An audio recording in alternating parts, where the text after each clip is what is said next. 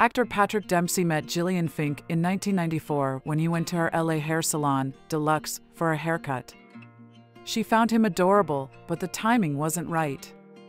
The couple did not start dating until 1997, moved in together after only three months of dating, and married July 31, 1999. The ceremony, which took place on a family farm in Maine, was small and intimate, with only close friends and family. The couple had their first child, a girl in 2002, followed by twin boys in 2007. In January 2015, Fink filed for divorce and the couple asked for privacy from the press.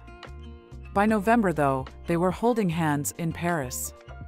The couple reconciled, dismissing their divorce in November 2016, and have been together ever since. Despite their ups and downs in the past, Dempsey says that he cannot imagine his life without her.